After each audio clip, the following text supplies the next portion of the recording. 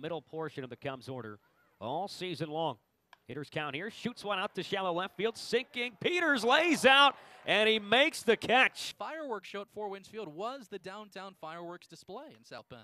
0-1 pitch, looped into shallow center field, and off the bat of Jake Washer. Gray Jr. coming in, he slides, and he brings it in.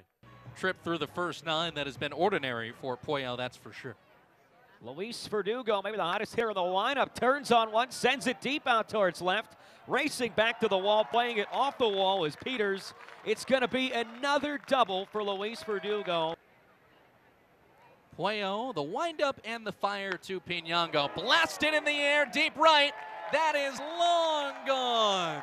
A scoreboard shot for Yohendrick Pinango. That puts the Cubs up one to nothing.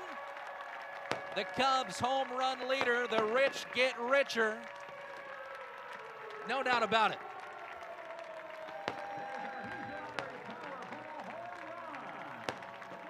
That is a Hoosier lottery home run for Yohendrick Pinango. Man at first, that is Ethan Murray. He reached on the air. Infield plays back. There goes the runner. It is inside. Throw to second. They get him in time. Line down to left in the third. Could have vouched for a hit. Cubs have said that a lot tonight. That one is a base hit. Rolling up the chalk into the left field corner. Aliendo will take second on a double type of guys too early on in their start. The two-strike pitch to Crow Armstrong is looped into left, a diving catch by Peters. He's stolen away a couple base hits tonight. Great catch. Yeah, no. Uh, after see, I, I, got to see him last year in in Double A. Drilled into right. That's a base hit. Cubs are going to get a couple insurance runs. Verdugo scores. Here comes Santana around. He is safe. Two-run double, Yohendrick Pinango. It's 3 nothing. Here comes the payoff pitch.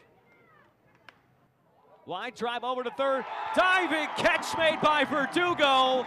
Ball game.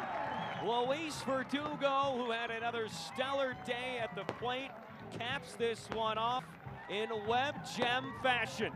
The Cubs three, the Timber Rattlers nothing.